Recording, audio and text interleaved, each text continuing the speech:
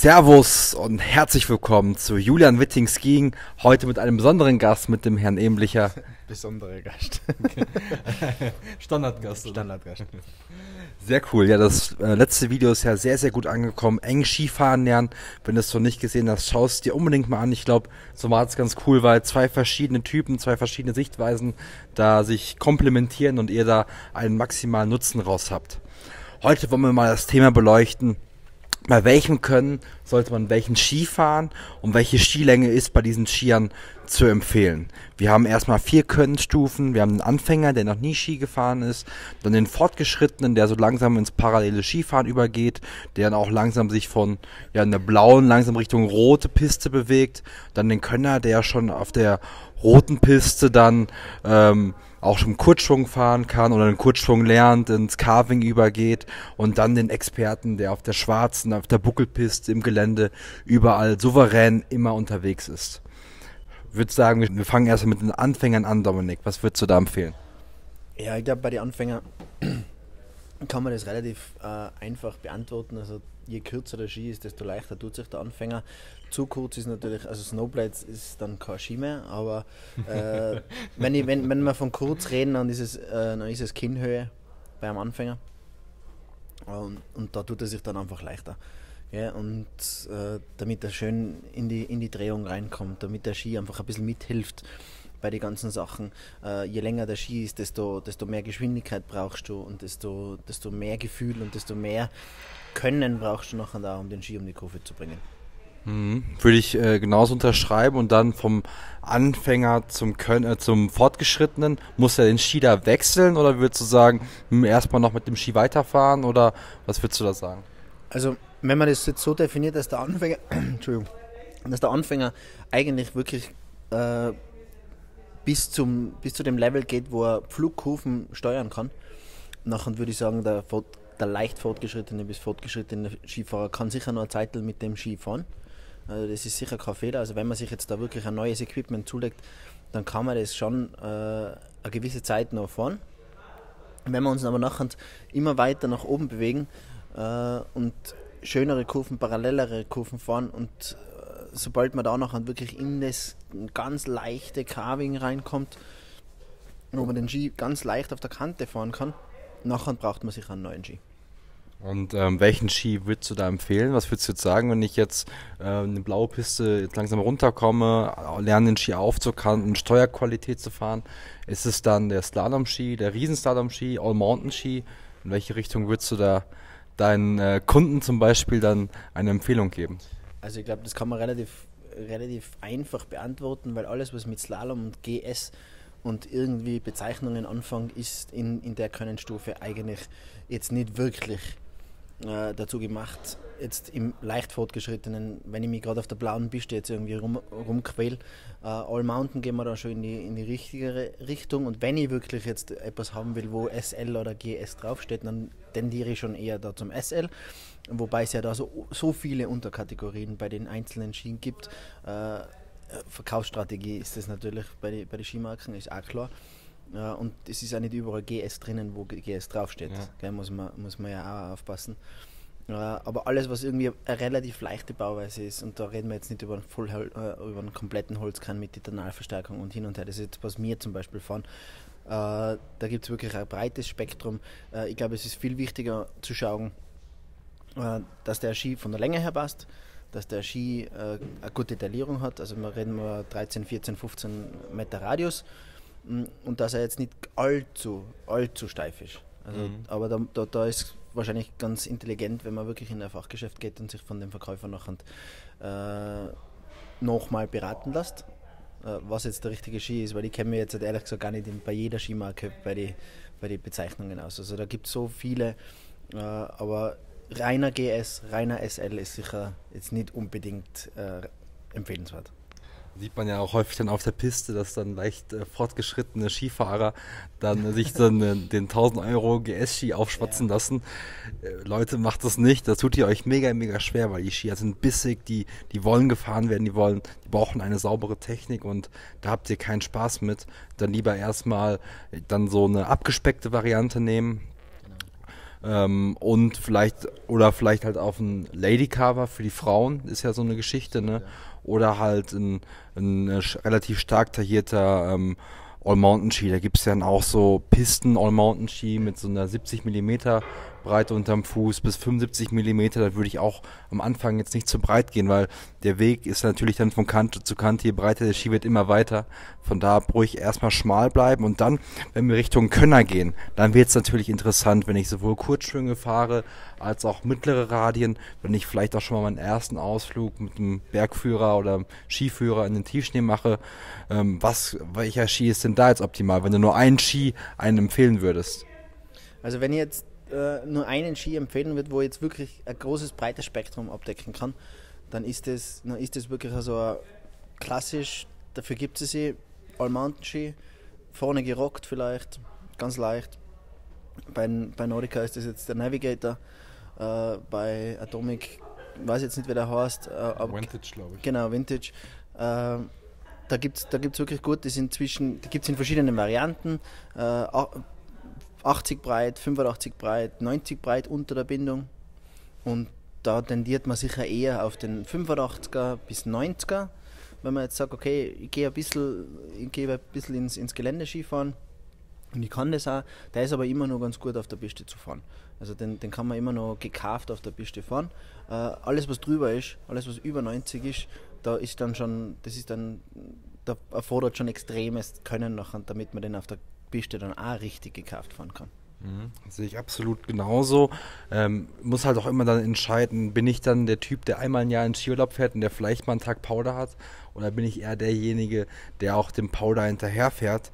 Da würde ich dann auch so ein bisschen bei der Mittenbreite dann schauen, also All Mountain absolut, aber dann bei der Mittenbreite, wenn ich weiß, okay, ich bin eher immer an Ostern unterwegs und an Weihnachten, wo eventuell nicht so viel Powder ist, dann eher einen etwas schmaleren All Mountain Ski. Wenn ich weiß, okay, ja, ich bin schon auf der Suche nach Powder und wenn es die Möglichkeit gibt, dann bin ich auch sofort drin, dann eher tendenziell breiter. Jetzt Thema ähm, performance-orientiertes Ski im Könnerbereich. Ist es dann schon der, der All Mountain oder der, der, sorry, der GS oder Slalom Ski mit Titanalverstärkung und Holzkern oder würdest du sagen, eher noch ein bisschen zurückstecken und erstmal nochmal in die Skischule gehen? Immer in die Skischule gehen, das ist einmal prinzipiell. Also immer Privatlehrer nehmen, immer. das ist einmal das Prinzipielle. Na, äh, also wenn man jetzt äh, Leute hat, die was zum Beispiel so vom Niveau her, vom Level her sind, so wie bei uns im Camp, dann kann man sicher in die, in die performanceorientierteren Schiene gehen äh, und man muss ja, man muss immer ein bisschen unterscheiden. Also das ist ist immer eine ganz eigene Geschichte, wenn einer sagt, ich habe den GS jetzt oder den SL von Atomic Rossignol bla bla bla. Äh, da gibt es ja wirklich zwei bis drei Varianten immer. Bei Nordica gibt es zwei. Äh, kommt auch darauf an, wie oft ich Skifahren gehe in der Saison, wie oft ich mir einen neuen Ski kaufen will in den nächsten zwei, drei Jahren. Äh, Performance-orientierte Ski, wenn ich wirklich gut am Ski stehe, wenn ich wirklich geil fahre, dann kann ich sicher in diese Schiene reingehen und dann kann ich mir wirklich einmal, dann kann ich einen 899 Euro äh, Slalom-Cover mir leisten gibt's, äh, mit, den gibt es dann eh nur in dieser Ausführung. Und äh, da muss man allerdings dann halt auch wirklich der Herr der Dinge sein. Es ist wie wenn ich normal Fiat 500 fahre und dann steige ich in Ferrari ein. So. Also das ist, das ist dann wirklich so. Also das, da da, da, da geht es dann schon ab, da muss ich dann schon ein bisschen mehr Kraft aufwenden, da muss ich schon ein bisschen bessere Technik haben. Äh, wenn ich da fahre, dann ist es richtig geil. Genau, das zum Thema Slalom. Dann GS ist natürlich jetzt die Geschichte. Ne? Ich habe dann sowohl die 1,75er Modelle bis 1,85, vielleicht sogar bis 1,87 so die Richtung. Und da jetzt bei der Kön Könnerstufe würde ich eher sagen, erstmal langsam rantasten, vielleicht mit einem 17 Meter Radius, mit einem 18 Meter Radius und nicht direkt auf den auf das Masters Modell mit 21 bis 25 Meter Radius, weil äh, je größer der Radius wird, desto schwieriger steuert der die Kurve rein, desto mehr muss man im Kurvenwechsel arbeiten und da tun sich ja ja die meisten, also es ist ja immer so das Hauptproblem von allen Skifahrern, der Kurvenwechsel, die Bewegung nach vorne in der Kurve. Und äh, da eher mal rantasten, vielleicht mit einem 1,75er, mit einem nicht ganz so steifen, ohne Rennplatte, äh, vor allen Dingen da, weil es auch nochmal Steifigkeit gibt und dann kann man sagen, okay, jetzt bin ich immer zwei Saisons gefahren, ich, ich kann den jetzt stabil fahren in, bei, bei allen Bedingungen und jetzt steige ich mal auf ein auf eine äh, härtere Latte um.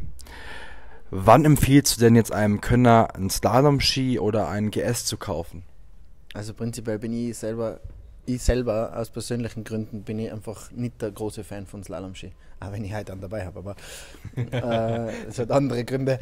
Äh, ich, bin, ich bin ehrlich gesagt kein extremer Freund von Slalom-Skien. Ich kann ehrlich gesagt aber auch gar nicht wirklich begründen, warum, weil das hat, das hat seine, seine, seinen Ursprung einfach, dass das Slalom-Ski so extrem zumacht, die Kurve, wenn man richtig fährt.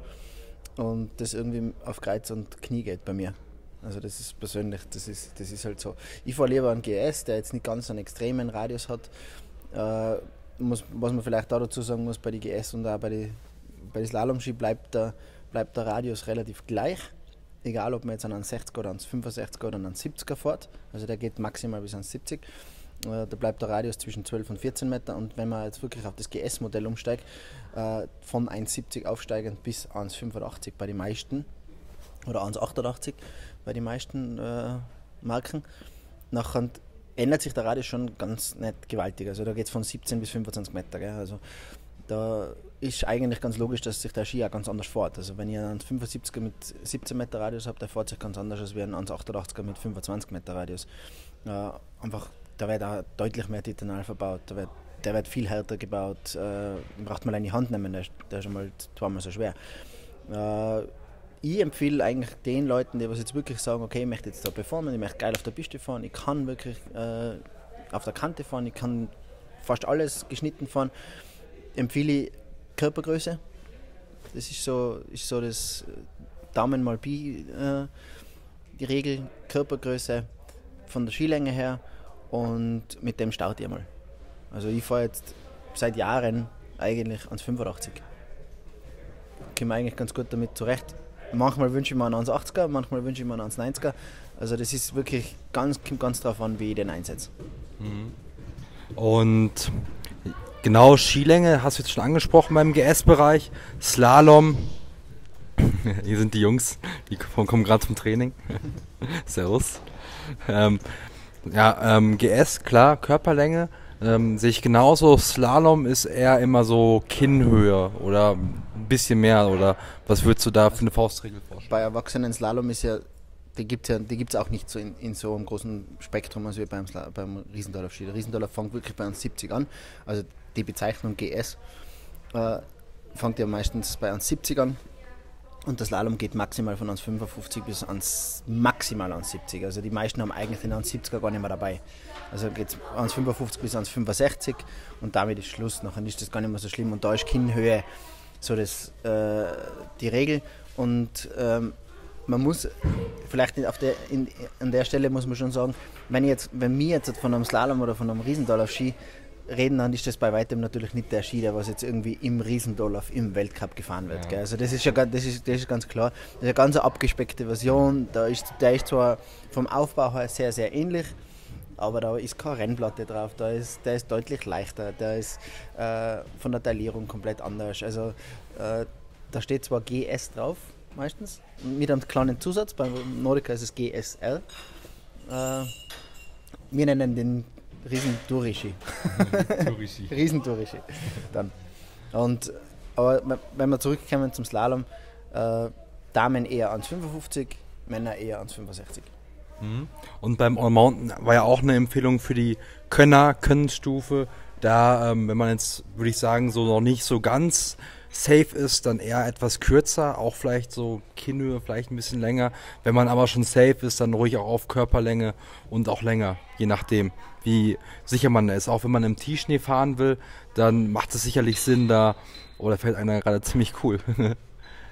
Obwohl es geht. hat mich jetzt gerade ein bisschen abgelenkt, sorry dafür. Da muss man ja immer direkt mal gucken, was da gerade läuft. Wie eine Eintagsfliege. Ähm, wo war ich stehen geblieben? All Mountain Ski. Äh, wenn man den auch im Tiefschnee fahren will, macht natürlich eine längere Variante mehr Sinn, weil er dann auch einfach laufruhiger ist und man auch eine höhere Auflagefläche dann letztendlich hat. Okay, ähm, das dazu. Jetzt kommen wir zu Ex zum Expertenlevel.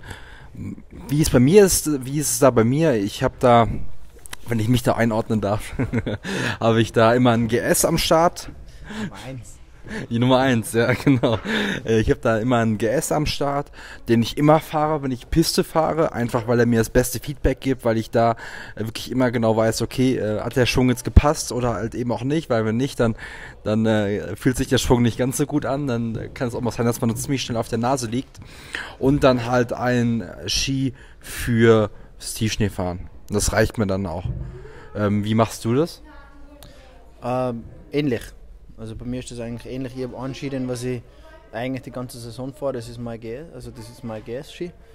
Äh, ich habe natürlich den einen oder anderen Ski, aber bei mir ist es oft so, ich nehme gerade das, was da steht.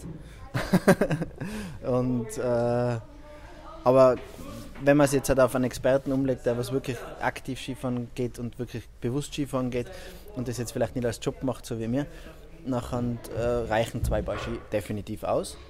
Äh, wenn man sich nur einen leisten will oder kann, nachher tendiert man auch im Experten, äh, auf dem Expertenniveau eher zum All-Mountain-Ski, 1,80 lang äh, oder Körpergröße lang und 80, 85 in der Mitte breit, dann hat man definitiv sowohl auf der Piste als auch im Off-Pist-Bereich seinen Spaß. Dass der natürlich performanceorientiert nicht so ist wie der GS auf der Piste, dafür und auch nicht, das ist halt so ein Mischmasch. Das ist wie wenn ich mit wenn ich mit Sommer-Winterreifen Mischmasch das ganze Jahr durchfahre. Also äh, man darf nicht zu hohe Erwartungen an einen Allmountain-Ski stellen. Das muss man nicht. Die sind sehr gut, aber sind natürlich in den Bereichen Piste und Off-Piste nicht vergleichbar mit einem reinen Pisten und einem reinen Off-Piste. Ja. Das ist, so. das, das ist ganz klar. Also da, das, da muss man halt auch unterscheiden. Da muss man entweder einen Kompromiss eingehen oder sich beide Ski leisten. Mhm. Und last but not least haben wir natürlich auch noch die Sportcarver-Kategorie, die zwischen Slalom und zwischen ähm, Riesenslalom sind, zum Beispiel dann Rossinger Multiturn oder sowas oder Head I-Race, ähm, die es dann auch mittlerweile mit Titanalverstärkung Rennplatte gibt, also auch als Pro-Variante, ist sicherlich auch ähm, für wenn man wirklich viel Kurzschwung fahren will und viel Riesen ähm, oder längere Schwünge fahren will, macht es sicherlich auch Sinn. Äh, ich bin jetzt noch nicht so ein riesiger Fan, weil ja, wenn man sehr, so wie ich jetzt, sehr schwer ist und sportlich fahren will, dann kommt er natürlich auch an seine Grenzen. Er hat ja nicht die Qualität wie jetzt ein GS-Ski.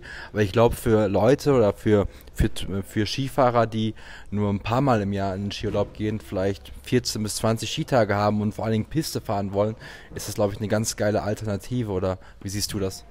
Ja, da, muss, da haben wir ein bisschen eine unterschiedlichere Meinung, weil ich glaube, dass die, die, die, die Cover jetzt wirklich extrem gut waren sind. Also ich kenne sie jetzt nur von der Nordica-Seite her. Das ist der Spitfire. Und äh, also, wenn ich mir jetzt selber einen Ski kaufen müsste, da wo ich sage, okay, der braucht ein bisschen halbwegs ein Spektrum, dann würde ich mir so einen kaufen. Dann würde ich mir so einen kaufen, weil äh, je älter man wird, desto weniger will man will man sich anstrengen beim Skifahren auch. Also rein, rein anstrengungstechnisch. Und der, die Skis sind richtig geil mittlerweile. Ich kenne, wie gesagt, ich kenne jetzt nur die Nordica-Seite. Bin mit denen ein paar Mal gefahren und die sind, die sind richtig gut. Also da kann man, da, da macht man nichts falsch, wenn man die kauft. Aber mhm. da muss man, auch, muss man auch dazu sagen, also die kosten eigentlich mehr als wie ein GS. Das ist so. Ja, also die kosten dann. X9 guckst, genau, den genau. Elite Plus. Und, oder den Spitfire RB von, von Nordica, der kostet glaube ich 1100 Euro oder sowas. Und der, der X9 glaube ich kostet auch 1099. Also äh, da sind wir wirklich auf dem mega High-End-Produkt. Was sie denkst, da ist extrem viel Entwicklung drin, da steht extrem viel Entwicklung drinnen. Äh, und auch vom Aufbau her. Also RB beim Nordica heißt zum Beispiel Rage Bridge, also der hat vorne die Schaufel vom, vom Renji.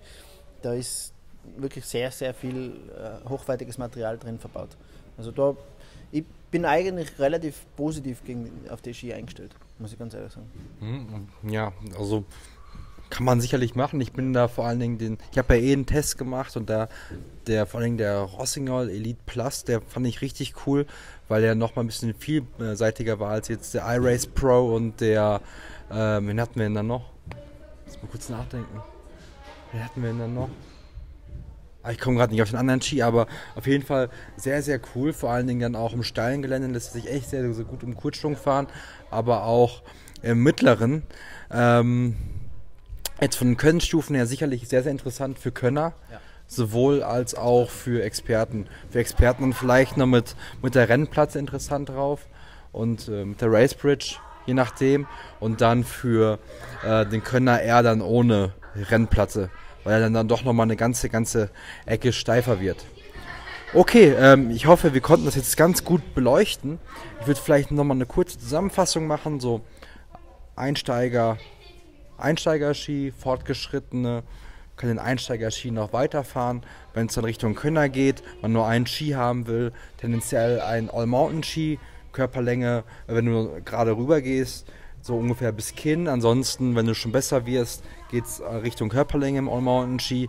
Dann werden auch so langsam die Slalom- und GS-Ski interessant. Slalom-Ski ungefähr Kinnhöhe, sage ich jetzt mal. GS-Ski ungefähr Körperlänge plus minus. Und Sportcar war sicherlich auch sehr, sehr interessant, wenn man jetzt einen Pistenski haben will, der immer überall gut funktioniert. Und wenn man natürlich dann Richtung Freeride gehen will, auch mehr, macht sicherlich ein breiterer All-Mountain-Ski mit einer Mittenweite von ab 85 mm sicherlich Sinn.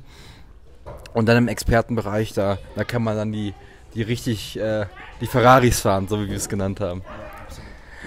Sehr cool. Wenn ihr noch Fragen habt, schreibt sie in die Kommentare und ähm, lasst auf jeden Fall mit Dominik auf Instagram, Skischule Glungetzer und YouTube ein Like und Abo da und alles was geht. Auf jeden Fall auch mit der Welt teilen, ganz, ganz wichtig. Bei mir natürlich genauso, auch auf dem Lifestyle-Kanal, hier auf dem Kanal Instagram. Und äh, dann bedanke ich mich für den Fach, die fachkundige, den fachkundigen Beitrag vom Dominik. Und das letzte, das letzte Wort gebührt jetzt meinem Gast. Servus.